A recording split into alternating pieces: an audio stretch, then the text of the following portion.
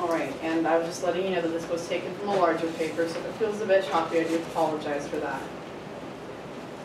Restoration era poetry's fascination with reimagining and parodying earlier Roman forms was not limited to heroics, Georgics, and pastorals.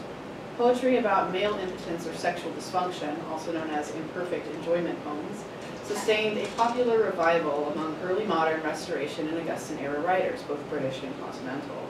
Impotency poems represent an intriguing facet of Restoration literature due to their often obscene content, which assaulted concepts of civility and decency in poetic language, as well as their consistent engagement with issues of social and political authority. This concern with political and social authority proves to be a generic convention of the impotency poem, dating back to the impotency narratives that appeared in Roman love elegies, particularly Ovid's Amores. From within the tradition of the impotency poem, Rochester's The Imperfect Enjoyment exploits the underlying tensions of masculinity and its relation to civil and political authority through a reimagination of an Ovidian dramatic narrative about a male lover's inability to sexually perform at the critical moment. Ultimately, Rochester's poem uses the structure of the sexual anticlimax to create a pattern of reversal in agency and association, to subvert gender roles, and to reinforce socioeconomic structures through a failure of genteel masculinity. Although Rochester's imperfect impotency poem affirms contemporary political authority, as opposed to the subversion of Augustan politics seen in Ovid's piece, both writers engage in a negotiation of political spaces within an intimate context of a failed romantic encounter.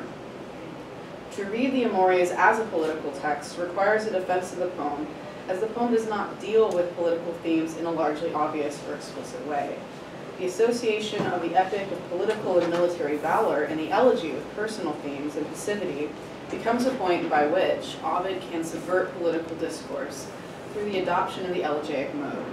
Because the epic poem was so powerfully aligned with the creation of military heroes and the justification of political conquests, the decision, quote, to write elegy was to reject the most prestigious of all literary genres, epic poetry.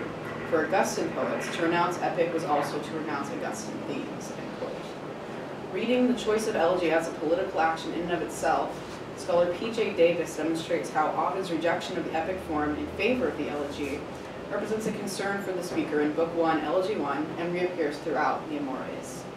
As such, Ovid's impotency narrative becomes a means of expressing a failed masculinity that corresponds to a failure, or in Ovid's case, an unwillingness, to respond appropriately to certain civic and political duties. In this way, Ovid establishes another convention of the impotency poem by demonstrating how the failure of a form of masculinity within a personal context becomes a means of expressing anxieties or frustrations about masculine performance within a larger political context. Rochester's The Imperfect Enjoyment adopts this convention, as do other Restoration-era authors writing in the impotency poem genre. The imperfect enjoyment represents a sophisticated response to the tradition of impotency poetry through its incorporation of conventional generic tropes, as well as its innovative structure, which uses the sexual anticlimax as a point of reversal for the hierarchies and associations crafted within the poem. At the beginning of the poem, Rochester establishes a somewhat egalitarian power relationship through the structure of his lines. Like Ovid before him, Rochester produces a sexual encounter that emphasizes the equal engagement of the couple involved arguing that both lovers were, quote, equally inspired with eager fire, end quote. The speaker of the poem stresses the mutuality of their affection, creating a tangled image of, quote, arms, legs, lips, close clinging to embrace, end quote. The structure of line 5 creates a zeugma, which catalogs the body parts in chaotic order, highlighting the frenzy of the activity of the romantic encounter, but minimizing the textual focus on specific subject or agent. If at all, the grammatical agent of the poem in the early lines is the female lover, Corinna, who, quote, clips me to her breast and sucks me to her face. Her nimble tongue loves lesser lightning played within my mouth and to my thoughts conveyed, In this section, Corinna is placed in the active subject position and the speaker is the object of her affectionate caresses. Corinna's activity in Rochester's poem is also coupled with her portrayal as a thoroughly physical and embodied figure. The speaker of Rochester's The Imperfect Enjoyment creates a dichotomy between materiality and immateriality, establishing herself, himself as immaterial. The speaker describes, quote, my fluttering soul, sprung with the painted kiss, hangs hovering o'er her balmy brinks of bliss. But whilst her busy hand would guide that part, which should convey my soul up to her heart. And here the speaker describes himself as a soul who is positioned, quote, fluttering above the sexual scene. Corinna, on the other hand, is emphasized materially as, quote, balmy brinks of bliss. The use of the word balmy in particular emphasizes the physicality of Corinna, drawing attention to the qualities of physical senses. These paired images of materiality and immateriality abound within these short lines, appearing again in line 14 as the speaker's soul is juxtaposed with Corinna's heart. The contrast between the immaterial and material images creates a hierarchy which subjugates Corinna to her own physicality, a gendered assumption which would have nevertheless been fairly common in Rochester's time. The culmination of Corinna's embodiment with her, quote, hand, her foot, her very looks a cunt, end quote, occurs shortly after the speaker's premature ejaculation and illustrates that her materiality has become so extreme that her vagina has become her metonymical representation, conflating her very identity with her sexual organ. This is an exaggerated moment of materiality, occurs shortly before the poem's uh, that this exaggerated moment of materiality occurs shortly before the poem's reversal suggests also the instability of the hierarchy between immaterial and material. The speaker's premature ejaculation becomes a textual moment from which the assumptions and patterns of the first 15 lines are reversed, initiating the impotency reflection. Similar to Ovid's impotency poem, where the speaker's failure occurs near the beginning of the poem, Rochester speaker enjoys the loving encounter only briefly before, quote, in liquid raptures I dissolve all over, melt into sperm and spend at every pore, end quote. The speaker adopts the active position in the line, I dissolve all over, functioning as the grammatical agent of the sentence. This stands in contrast to the passivity of the speaker before his dissolution. As the poem progresses, the speaker will retain this active position on a fairly consistent basis, almost entirely abandoning Corinna, he makes scattered references to her as an object, but almost never as a subject. The speaker also begins to emphasize his own physicality, culminating with the absurd equivocation between himself and his member.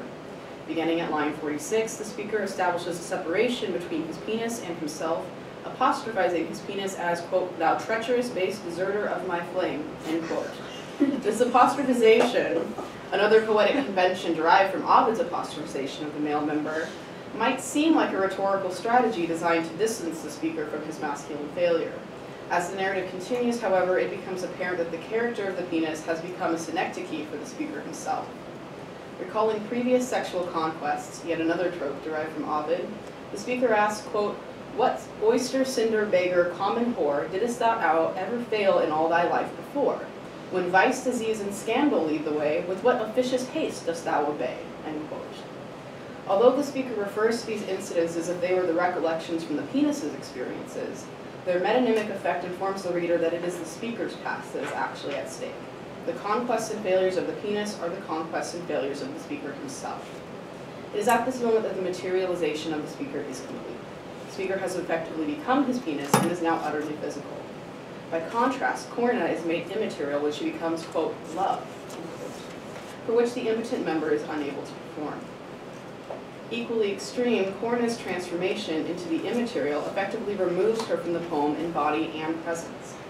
Instead, the idea of Corinna remains hovering above the reflections of the speaker, much in the same way that his soul hovered over their lovemaking before the reversal.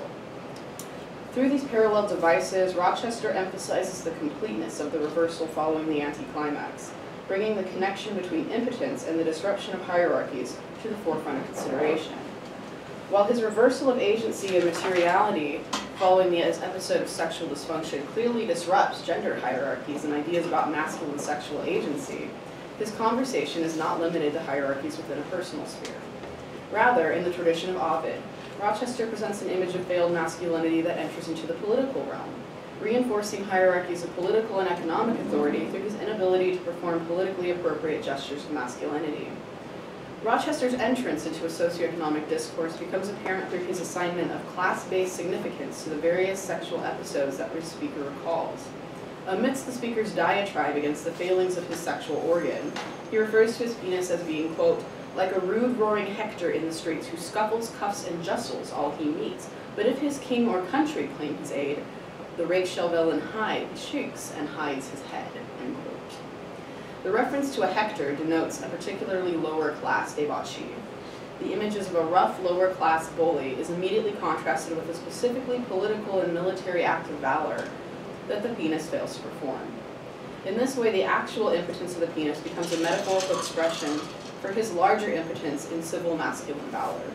The impotence in Rochester's poem, in spite of its generally subversive associations, reinforces a class and politicized masculinity that supersedes the masculinity of lower classes because the speaker's dysfunction is famed as a failure to participate in a higher order of elevated civil and political masculinity.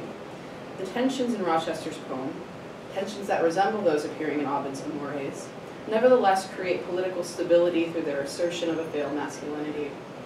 Rochester's work derives from Ovid's project of satirizing political masculinity and undermining Augustan rule.